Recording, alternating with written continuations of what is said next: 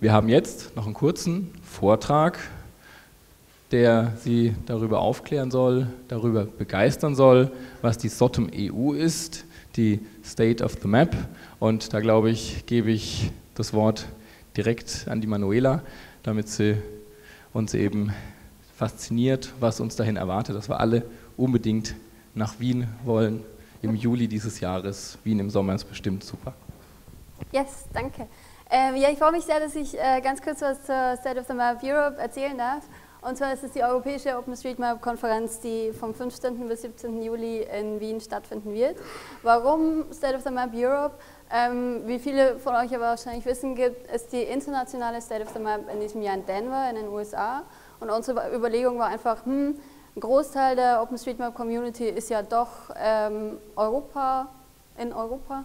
Ähm, und für viele von den Privatleuten, aber auch für kleine Firmen wird es einfach zu teuer sein, ähm, in die USA zu reisen.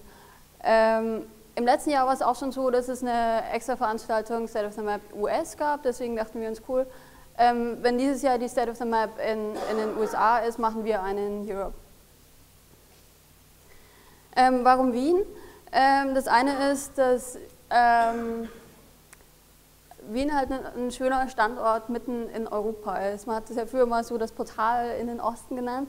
Ähm, und es ist einfach, ähm, es ist gut zu erreichen, auch mit günstigen Fluglinien, äh, mit Nachtzügen. Ähm, und es ist auch für die, für die Mapper aus Osteuropa, aus, aus der Ukraine, aus Russland und so weiter einfach schön, weil es mal ein bisschen näher ist als die Konferenzen bisher.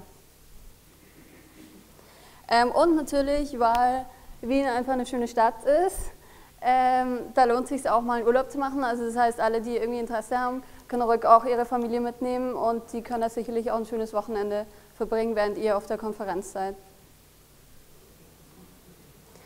So, wer organisiert das? Ähm, Hauptorganisator ist der Verein OpenStreetMap Austria, ähm, der in diesem Jahr gegründet wurde. Ähm, und Mitorganisator ist die TU Wien, die Forschungsgruppe Kartografie, in der ich auch arbeite. Aber ich bin auch an dem ähm, Verein tätig. So, um was geht's? Oder was für Themen werden dort vertreten sein? Wir haben einen Call for Papers gestartet im letzten Dezember und waren sehr, sehr überrascht über das gute Feedback. Das heißt, wir haben 74 sehr spannende Einreichungen bekommen. Wir werden leider nicht für alle Platz haben, ähm, aber wir werden wirklich eine ganze Reihe sehr spannender Themen haben. Hier ist mal ganz winziger Ausschnitt aus den Themen, die uns erwarten. Also vielleicht seht ihr einfach schon ein paar Gesichter, die euch bekannt vorkommen werden. Ähm, wir werden eine Keynote von Steve Coast haben, ähm, von Mookie Hackley. Ähm, es wird jemand von dem Hot-Team da sein. Ähm, ganz spannende Themen, viele bekannte Gesichter und ähm, es kommen auf jeden Fall noch viele Sachen dazu, vielleicht auch von Leuten, die ihr vielleicht noch nicht kennt aber die eben ganz spannend sind, weil sie zum Beispiel aus Russland kommen, aus der Ukraine, aus Weißrussland und so weiter. Also ganz spannende neue Gesichter, auch neue Teams. Ähm, hier sieht man auch ungefähr so die Themengebiete, um die es geht. Ähm, wir haben, nachdem die Veranstaltung ja an der TU Wien stattfindet, uns gedacht, wir machen auch vielleicht einen speziellen Fokus auf ähm, Research-Themen. Das heißt, es wird einen Research-Track geben und dann natürlich Tech-Talks, ähm, Themen, die sich um OpenStreetMap allgemein handeln und auch so powered by OpenStreetMap Team. Okay, wo genau wird es stattfinden? Ich habe schon gesagt, an der ähm, Wien. Ähm, hier ist ganz kurz die Karte von Ihnen. Ich weiß jetzt nicht, ob man da so viel sieht, aber was man da auf jeden Fall sieht, ähm, es ist wirklich mitten in Wien. Es ist ähm, Karlsplatz, ist ja so ziemlich das äh, Zentrum und es sind fünf Minuten vom Karlsplatz weg. Es ist in Fußwegnähe, ist die Oper, es ist das Museumsquartier. Ähm, also lauter spannende Sachen, die man eigentlich sich dann auch anschauen kann, wenn man dort ist. Ähm, Registration, wir werden, ähm, es wird eine ähm, Registrierungsgebühr geben, man kann sich momentan schon anmelden. Äh, Early Bird ähm, kostet momentan 60 Euro. Nach Mitte Mai ist Early Bird Phase rum und es wird 90 Euro kosten. So, jeder von euch, der jetzt hier drin sitzt und denkt, hm, coole Veranstaltung, würde ich gerne irgendwie unterstützen. Ähm, wir suchen auch noch nach Sponsern und das können auch kleine Beträge sein.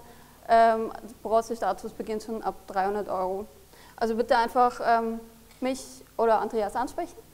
Und, ähm, oder eben an diese E-Mail-Adresse E-Mail schicken. So, ganz grob, wo kriegt man die Informationen?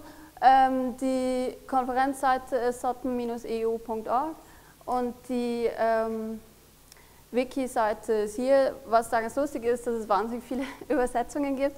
Das heißt, in fast jeglicher äh, Sprache im europäischen Raum kann man sich das irgendwie durchlesen. Ähm, Anfragen an info.eu.org und ähm, also heute ist auch noch der ähm, Andreas Lapos da, den ihr vielleicht auch schon kennt, ist jetzt hier in der zweiten Reihe und er ist eben auch der Mitorganisator. Also die E-Mails an diese Adresse gehen an Andreas und mich.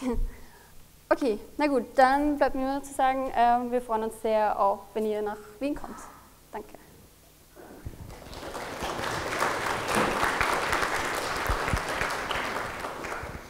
Dankeschön, Manuela. Danke auch Andreas für die Initiative, eine Alternative zur großen Sodom zu schaffen. Und ich denke, vielleicht ist das Potenzial in Europa ja sogar so groß, dass die Sodom EU darüber hinaus wächst und vielleicht sogar die offizielle SOTEM, die weltweite, dann auch schlägt.